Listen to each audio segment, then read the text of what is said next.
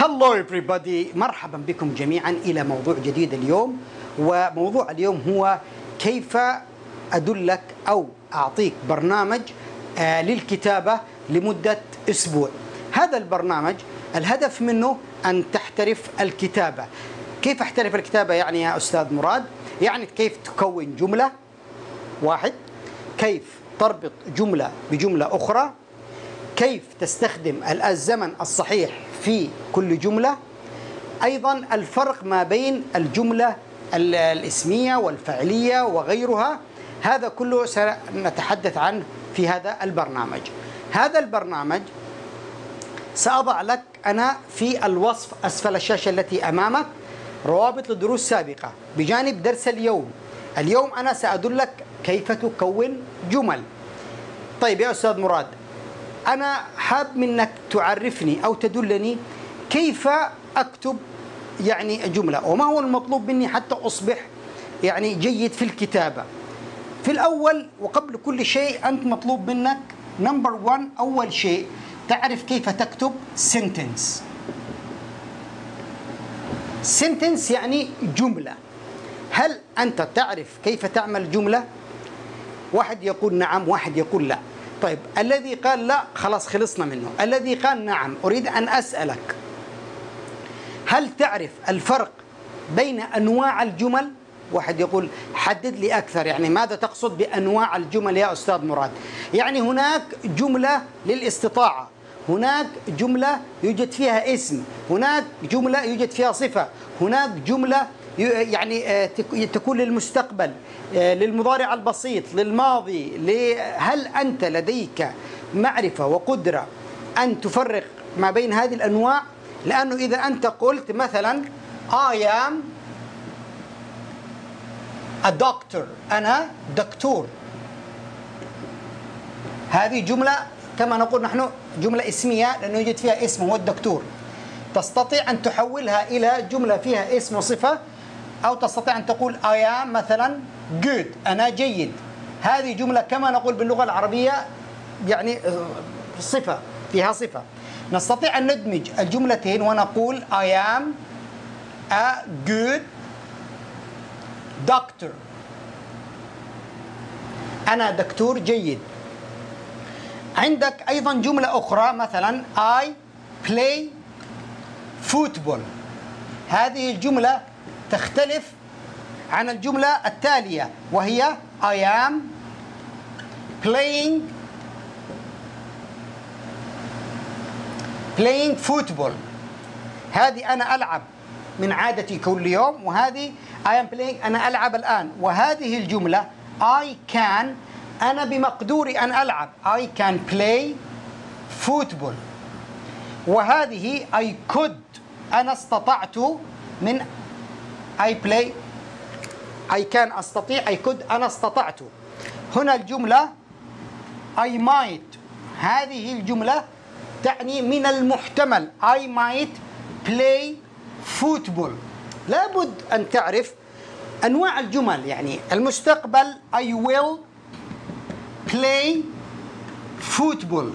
أو I am going to play football. هذه جملة أخرى.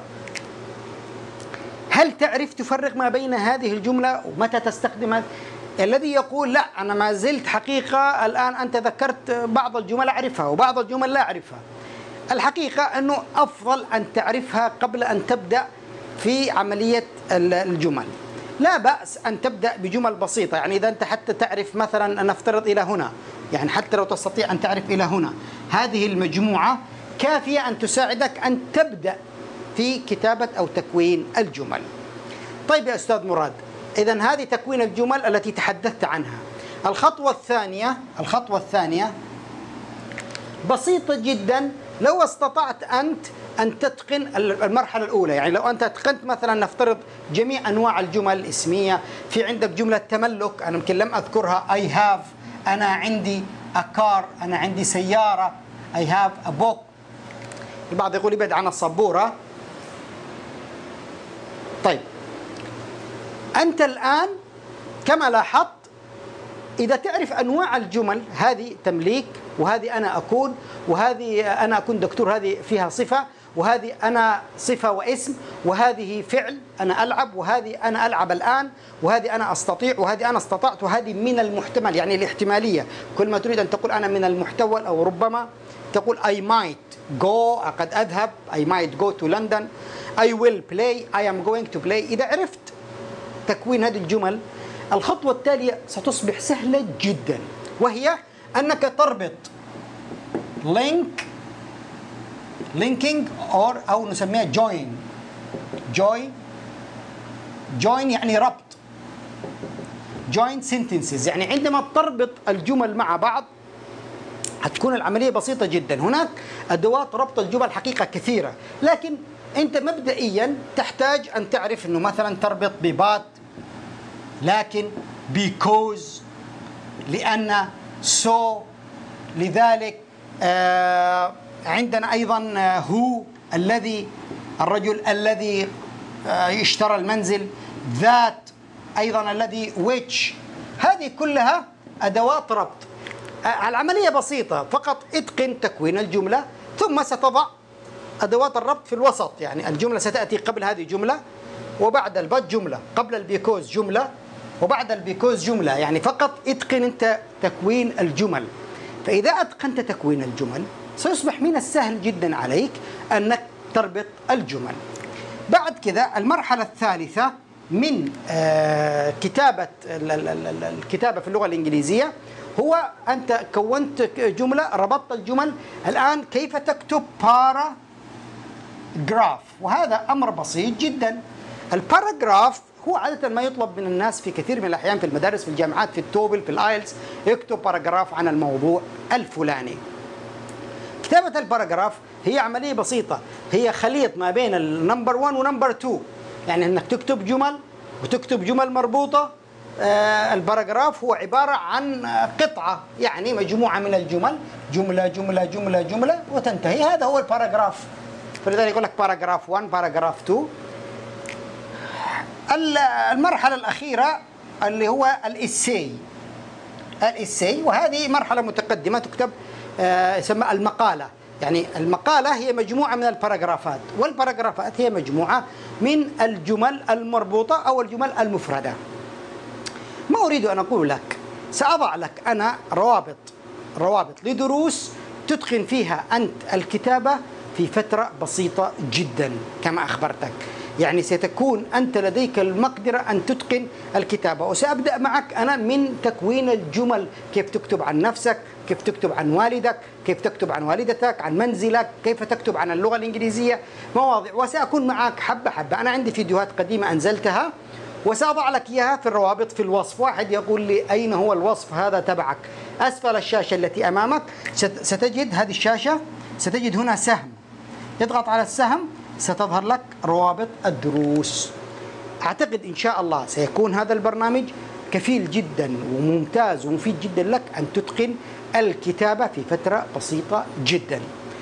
إذا لديكم أي اقتراح أو أي تعليقات اكتبوا لي والذي يريد أن يشاهد فيديوهاتي في القناة الثانية لأني قمت أنا بدمج دروس المستويات المستوى الأول والثاني والثالث في قناة جديدة. وضعتها للدمج الدروس حتى لا يتوه الطالب للبحث عن الدروس. كما يحصل الآن يعني سأضع لك روابط وغيره. القناة الثانية قمت أنا بدمج دروس كثيرة. اكتبوا لي في التعليقات ما هو رأيكم؟ ولا تنسى تشارك الفيديو مع غيرك وادخل على القناة الثانية شوف هل تفيدك أو لا. وربنا يوفقكم جميعا.